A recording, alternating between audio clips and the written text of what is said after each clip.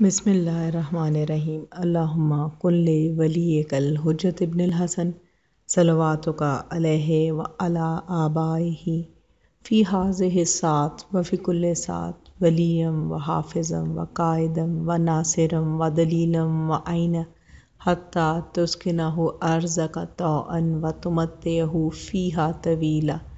برحمتک یا ارحم الراحمین۔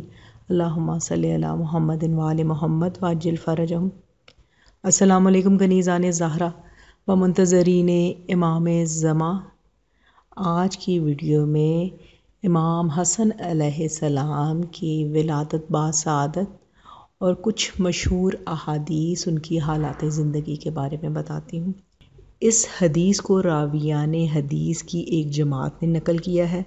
چنانچہ احمد بن صالح تمیمی نے عبداللہ بن عیسیٰ سے اور انہوں نے امام جعفر صادق علیہ السلام سے روایت کی۔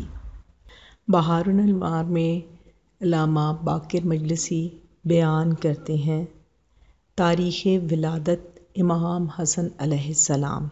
امام حسن علیہ السلام کی کنیت ابو محمد تھی۔ آپ علیہ السلام ماہ رمضان تین ہجری کی پندرہویں شب کو مدینہ منورہ میں تولد ہوئے۔ ولادت کے ساتویں دن جناب فاطمۃ الزہرا سلام اللہ علیہ امام حسن علیہ السلام کو ایک پارچہ حریر میں، جسے جبرائیل امین جنت سے لائے تھے، لپیٹ کر جناب رسول خدا صلی اللہ علیہ وآلہ وسلم کی خدمت میں لائیں۔ اور رسول اکرم صلی اللہ علیہ وآلہ وسلم نے ان کا نام حسن رکھا اور عقیقے میں ایک مینڈھا ذبح کیا۔ امام حسن علیہ السلام کا عقیقہ ساتویں دن۔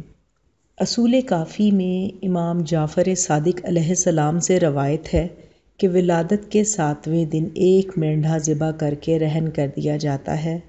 رسول اکرم صلی اللہ علیہ وآلہ وسلم نے ان کا عقیقہ اپنے ہاتھ سے کیا۔ اور امام حسن علیہ السلام کا اس دن عقیقہ ہوتا ہے اور ان کا نام رکھا جاتا ہے۔ آپ نے فرمایا کہ جناب فاطمہ زہرا سلام اللہ علیہ نے اپنے دونوں فرزندوں کے بال اتروائے اور ان کے بالوں کے برابر چاندی تصدق فرمائی۔